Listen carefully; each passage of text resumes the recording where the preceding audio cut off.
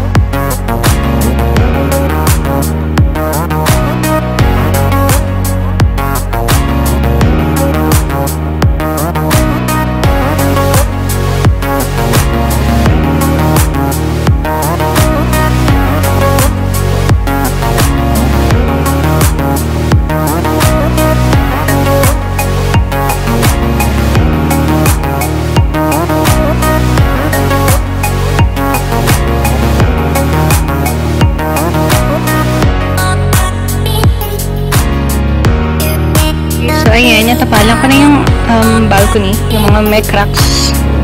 So, medyo marami-rami siya. Uh, half side pa lang. Hindi ko pa nagagawa yung kabilang side kasi masyado pa ang aming tambak. So, after this, what I'm gonna do is I'll be applying this Sistedy 100. This is um, acrylic waterproofer and sealant.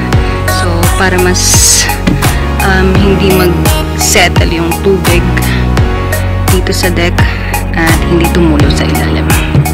So, tara, balik tayo sa trabaho. Ganito ang itsura nitong Sistedy 100. So, i-apply lang siya um, using a paintbrush. Okay.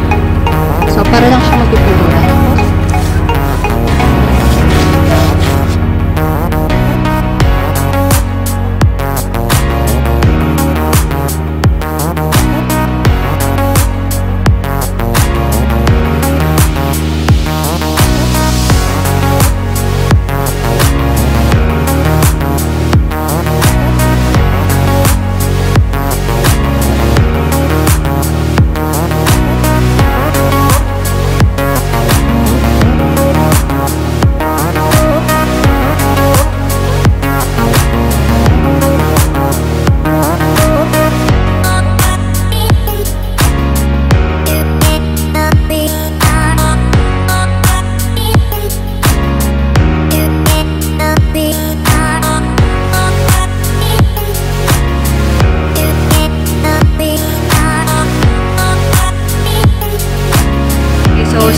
Completely dried na tong deck, so dried na yung um, this is the 100 yung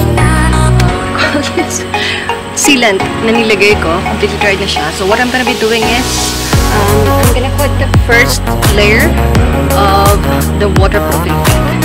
So I'm gonna be using Rain or Shine Thick Textile. This is specially formulated for roof decks to prevent um, rainwater leakage and it covers the pipe cracks as well. Ito rin actually yung ginamit ko sa sa roof deck sa taas.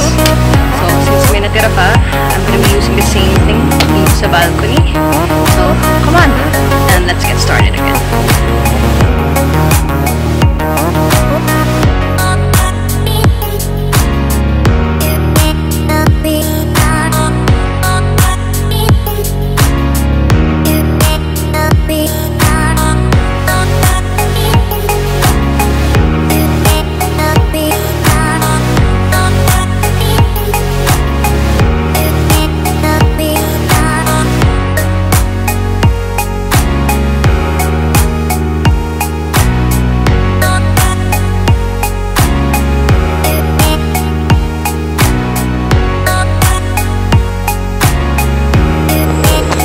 First coating of uh, waterproofing paint is done.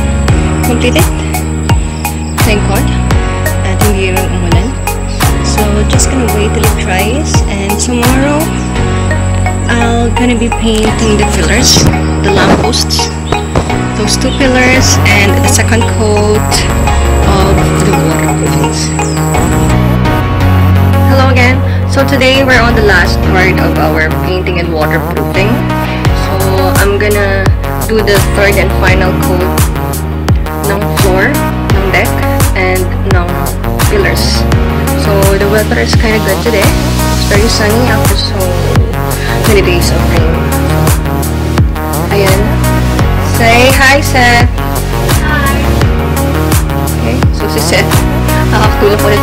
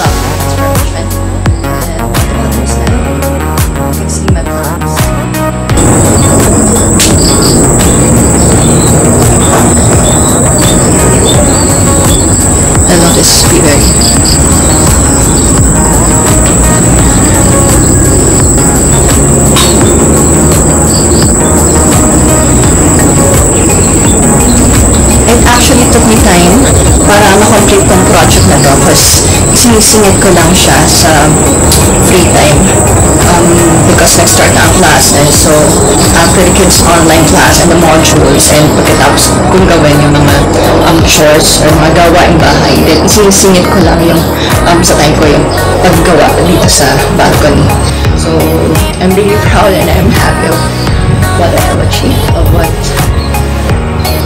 it looks now. And it's really relaxing here, especially in the afternoon, yung mga bata after the classes, just sit here and play. And one thing that is good is they forget about their cell phones kapag nandito sila sa balcony.